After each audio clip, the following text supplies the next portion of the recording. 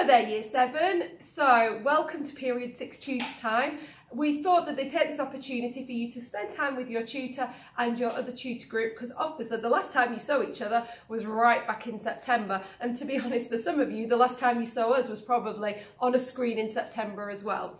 So we wanted to do a little assembly just to reflect. Now, Mr. Herger set a task via your tutors, which was to reflect on the last half term and also to think about what you want to achieve in the coming year.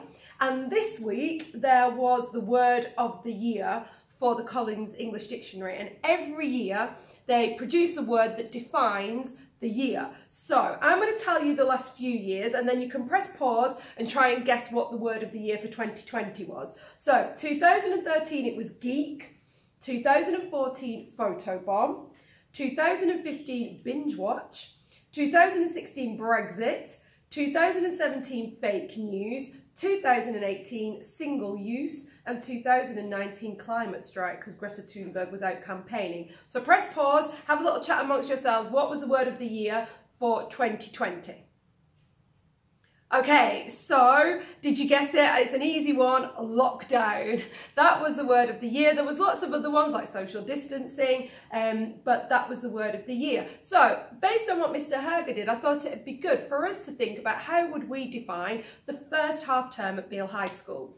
So I would think about a fresh start. For me, it's always a new start with year seven. It's been busy, and there's been football and no football. My kids play football five times a week. So for me, that defines the last half term. Would we have football? Oh no, no football. So Mr. Herger, how would you describe your half term? Uh, I think I'd describe it as exciting. It's been fantastic to meet the new year sevens and meet my new classes. We've gone from having 45 minutes to having 55 minute lessons. And now another exciting thing is we get to have this form time where we get to see you and spend some more time with you guys. Mr. Sydney Smith. For me, it was probably the word using refreshing. It's refreshing to see 360 new faces, learn 360 new names, and run around so very much trying to see all of you at the same time.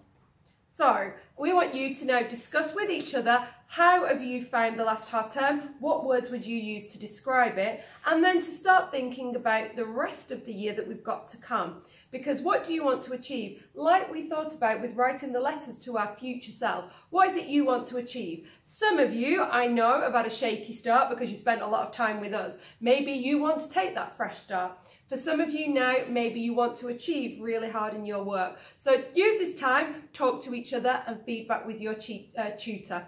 Mr Herger and Mr Sydney Smith are coming around to have a little chat with you as well. And of course, we'll see you around the school. Thanks, Year 7. Bye-bye.